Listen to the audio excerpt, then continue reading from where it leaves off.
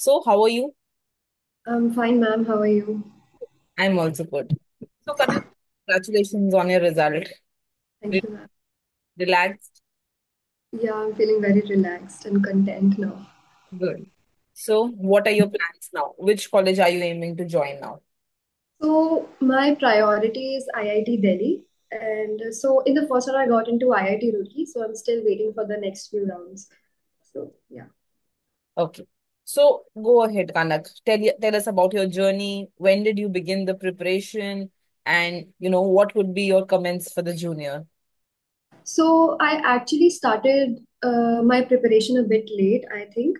I started around the end of August. And so, I took ArthaPoint's co- coaching around uh, late August. So, I already knew that I'm a little lagging and I'm behind.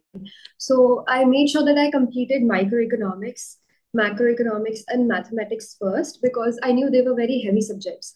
And you had also mentioned in your classes that we should focus on microeconomics first. So, till I gave myself a deadline of 31st December, and till 31st December, I only did all the classes and all the videos I completed. And I started with the assumption that I know nothing about economics. So I started from the basics and then I went on to intermediates. Even if I had a slight idea about the subjects, I made sure that I watched each and every subject. So my bases were clear that way. Good. So, did you also have a look at basic and intermediate video lectures, or you only did the advanced video lectures? No, no, no. I started from the basics. I made sure that I start I cleared my basics first and then I went on to advanced subjects. So that it was also personally I did not want to feel disheartened. So I started with the basics and then I went on to intermediate subjects and then advanced. Got it. So, um, you know, did you give all the mock papers also? How were you performing in the mocks? So uh, till December, I completed my subject, and from January, I started all the mock exams. And initially, I was doing terrible. I I felt like my four months of preparation they were all down the drain because I felt this the all the mock exams were so difficult. But then I realized that it's good that I find it difficult right now so that I can perform better in exams. So initially, I was doing really bad, and I first focused on IIT JAM mocks. So and and you also said that you had made them a little difficult but later on i i realized that it's for the better. And when i started doing them a little more diligently and after every mock i used to sit down and analyze what uh, where i went wrong. Like was it microeconomics or was it a retention problem or was it just silly calculation mistakes? So i made sure i analyzed my result after each and every mock exam and that really helped me. So, you know, that is something that I always tell that I have prepared mocks in a way which, you know, is difficult so that when you appear in the actual exam, you feel more motivated that we have passed the difficult part. So it is now easier for us to kind of give this exam. uh, exactly this when i appeared for iit jam i realized wow this is so much easier true. exam.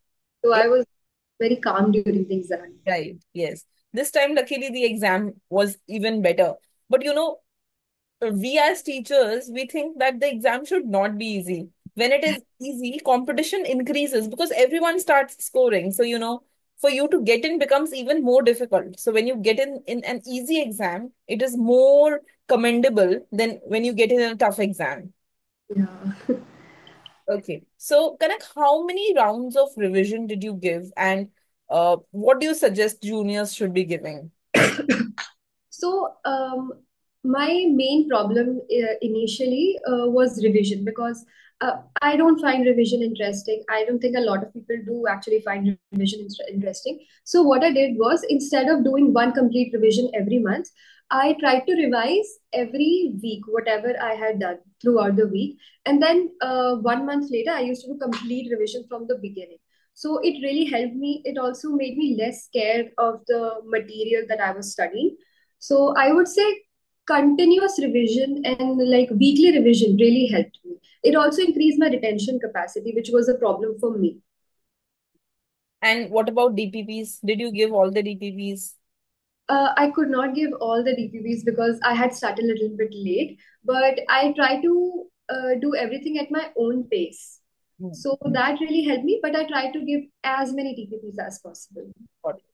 So, Kanak, you know, since many of the students they join in their third year and they Hmm. also have their college going on and then their semester exams and internal assignments, how do you suggest the juniors to cope up that with the preparation for master's entrance?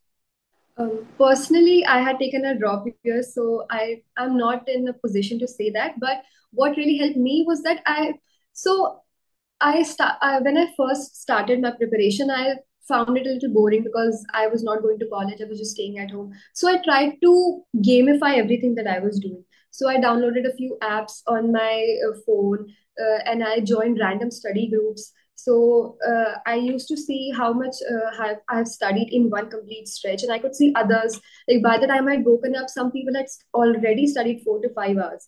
So it really pushed me so I tried to gamify everything. And earlier on, I worked on consistency rather than intensity.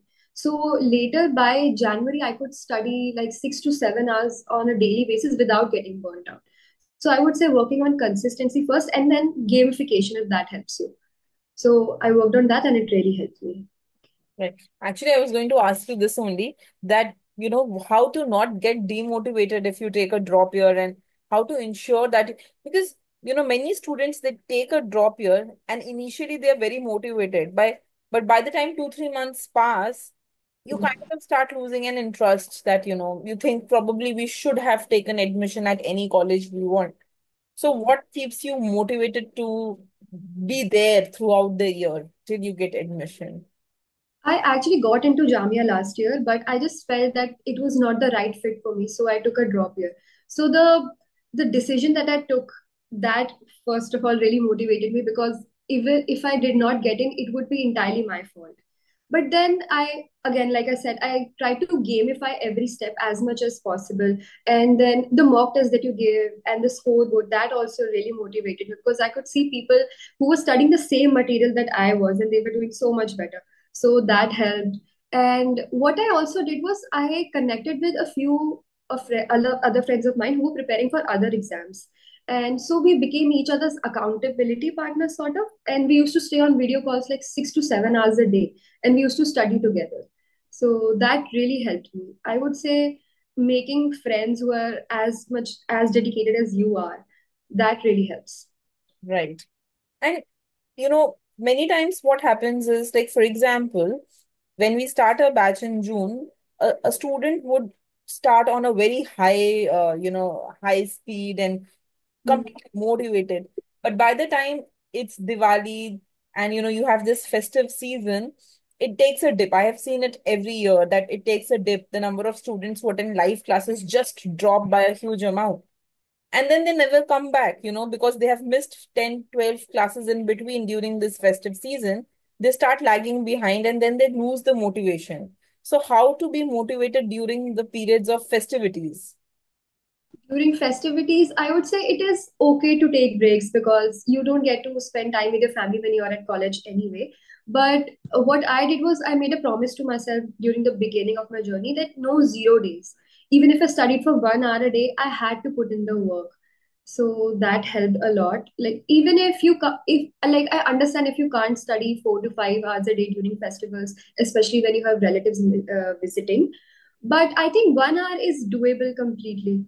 So I would say if you continue putting in some work, that really helps. And that's why I also worked on consistency first rather than intensity, so that I don't get burnt out by the end when it really matters. It. Okay, Kanak, I wish you all the very luck for your future ahead. Um, IIT has one of the best faculties there. Many of the Delhi School of, as I always tell, many of the D School faculties have left and joined IIT. Uh, especially in IIT Delhi, one of our maths professor who who used to teach us in DSC is now in IIT, an excellent professor. So I wish you all the very luck. Keep us informed, keep us in loop wherever you are in life. And when you get placement, when you get placed somewhere, you know, you should be ringing the first call to me and you should be telling me where you're placed. Definitely, ma'am. It's like I I'm really grateful that I found Point because the question banks, I think they were game changers for me personally. So thank you so much. Thank you. It has taken a lot of my effort to kind of record the question bank. So. I I really hope that, you know, the upcoming batch also finds that useful. And it really shows in the quality of the question bank as well. Thank you. Thank you, Kanak. Okay, thank you so much. Take care. Have a nice, uh, you know, beautiful next two years. Enjoy to the fullest and learn to the fullest. Thank you so much, ma'am. Have a great day. Bye.